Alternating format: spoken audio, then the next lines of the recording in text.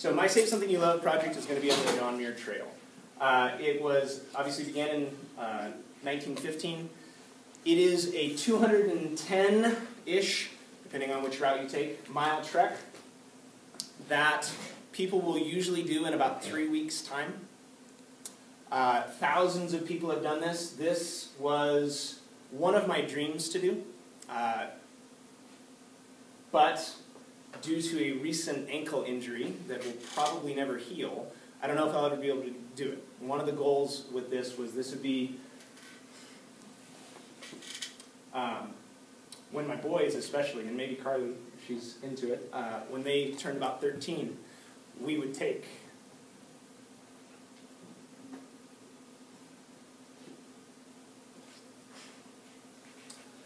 we would take three weeks, probably longer, uh, and just over the summer, of the perks of this job, and go off into the backcountry and see some of the most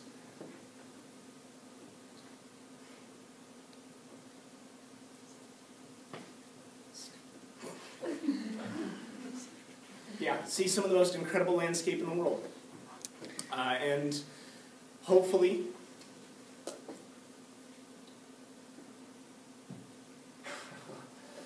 hopefully with that I could uh, pass down my love of this, of this nature and everything else to my kids.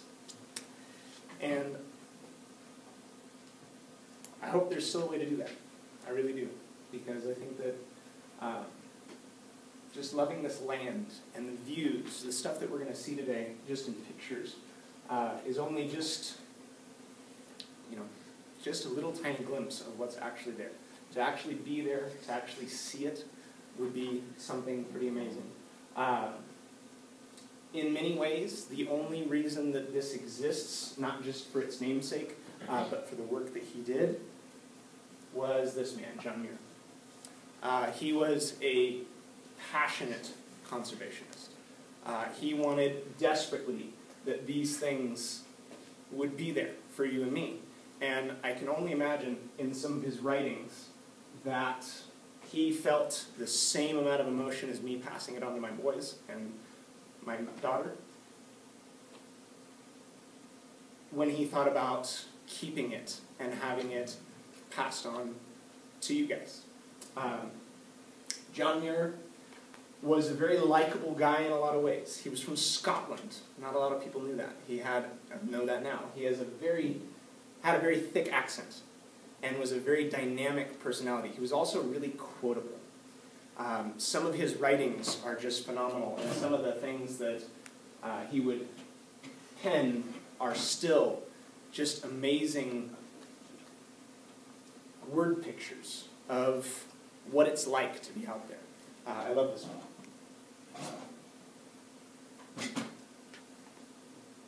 He believed that beauty was part of what everyone was gifted as a right at birth. That we should have access to beautiful places. And he fought like crazy to save beautiful wildlands. Uh, he even went so far as to say there's no such thing as ugly wilderness. Um, he, he was one of the main driving forces in us realizing that if we wanted to protect Yosemite, we couldn't just draw a line around Yosemite Valley. That everything was connected. And if we didn't connect, if we didn't protect the land around it, and the habitats and the animals and the trees and everything else, that we're doing nothing. And that's, he is one of the big reasons that there was a push to make Yosemite as large as it is. Yosemite Valley is only like 5 or 7% of the entire park's acreage. And he was one of the key players that made that a reality.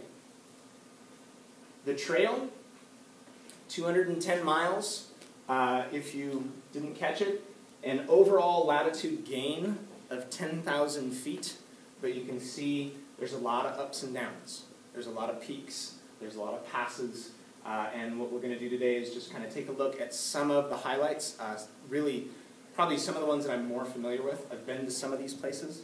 Uh, and we start with the first section, and we will start with somewhere where I would love to go, and I've always found uh, probably more intriguing than actual Yosemite Valley, is Little Yosemite Valley. So if you're up at Glacier Point, if you look off to the right, you have Little Yosemite Valley over here. Um, some of the waterfalls, some of the wildlands, the same, the same clues to the past of this area are all there. In many ways, uh, they're more obvious because they're less common. We're not so used to it, so we see it. Uh, when I'm out in the wilderness, especially in Yosemite, uh, I love the puzzle. Why is this here? Okay, why does it look the way that it does? And looking for the evidence, wondering why are there trees here and not there? Why is this shaped this way? Why are these rocks this shape? Why are they here in general? And I think that um, Sierra Nevadas offer that. They give you that puzzle to just play with um, in a way that's simple enough that you can get it, but is complex enough that you're never done.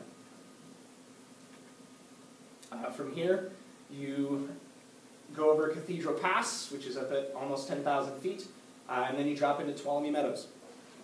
A glaciated meadow. Uh, the trees are slowly making their way back across from where the glacier basically scraped everything clean, and the tree line is just slowly encroaching its way back past. Um, Tuolumne River, uh, excellent fishing. I have fond memories of fishing with my dad on this river. Uh, but seeing the horns and things like that that are just um, this beautiful evidence of what the past was here. From there, uh, we moved quite a way over two different passes to Thousand Island Lake, uh, well named because it is dotted, maybe more now.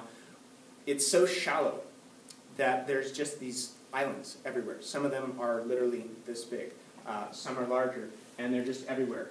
Uh, to see the colors that are brought not only by the plants, uh, but by sunrise and sunset. Um, even early risers. I'm an early riser. I love it. Early in the morning is the quietest time. Maybe it's just my house, um, but it's always quiet. And especially when you're in the backcountry, waking up right at dawn's first glow and getting to see the alpenglow on the mountains where um, it's sunny up here before it's sunny down here is an absolutely amazing thing.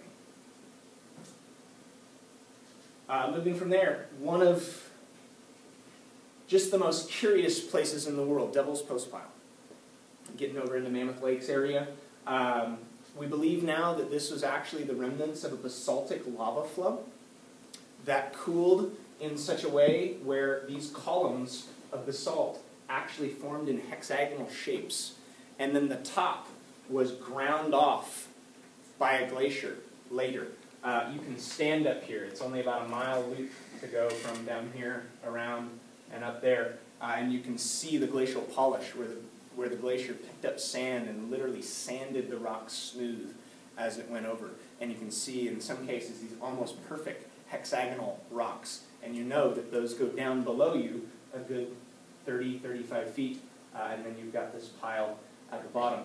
Uh, it's the mystery of nature. How in the world could a natural process do this? And again, it's one more piece of the puzzle that it just it, it keeps that wonder. And I think that so often when we get um, so focused in science, we lose the wonder. And that's something that we can't really ever lose. It's, it's the most important thing. Uh, from here, we head over to the next section, Silver Pass one of the higher places, uh, where the countryside just literally opens up before you. It's wide open. You can see on a clear day for miles. Uh, it also, another thing I love, it gives a hint as to where this all came from. What you're looking at is a batholith.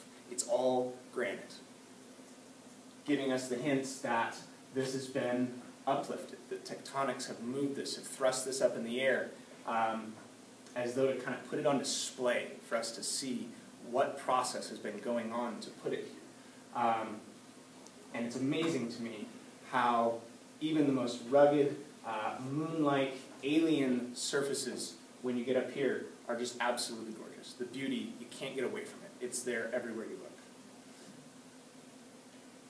Uh, from here, we go to Selden Pass, uh, which is the halfway mark, right about the halfway mark.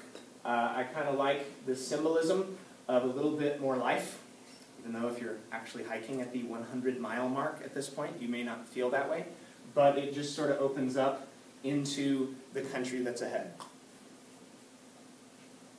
Uh, from there, moving on, kind of the other side of the halfway mark, uh, because the halfway mark would actually be this trough, is going to be Evolution Lake. Um, I've never been here, but I've had several friends that have uh, come through here and say that the alpenglow uh, reminds me a lot of Iron Lakes.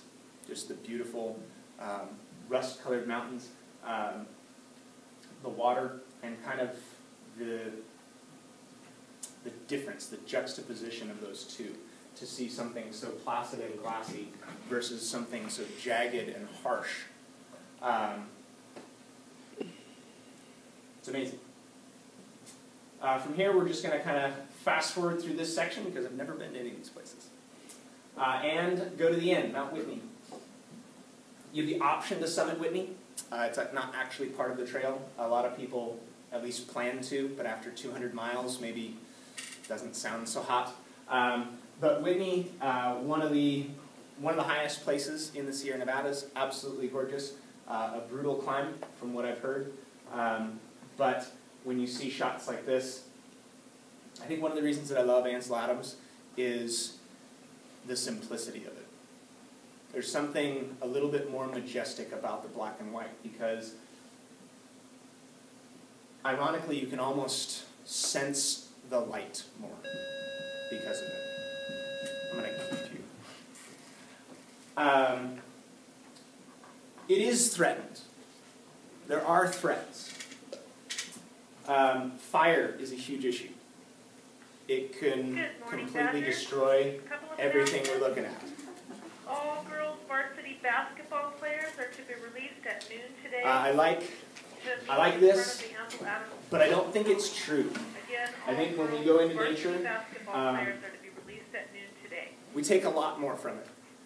Also, today at lunchtime, there's an SBLA meeting in Mr. And hopefully, Uh, I don't know about you, but when I go into the wilderness a lot of times, Everyone have a great day. um, I'm planning on leaving something there. Some hurt, some difficulty, some unrest. And I think that John Muir uh, did the same thing pretty frequently. Um, it's not about the trail. There's a bigger picture. You know, I think that a lot of times, at least for me, this is about how I feel. Like, it's just kind of jagged and gnarly, and it doesn't feel pretty.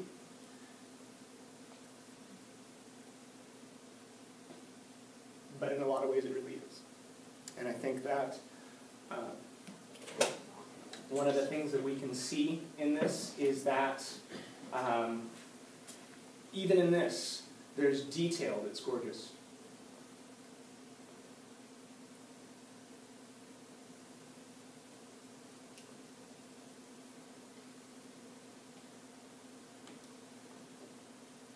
And as much as I love home, I love my kids, I love my wife, they're the best. Everybody else has second best. But in so many ways, this is true. Going to the mountains is like going home. And especially for me, uh,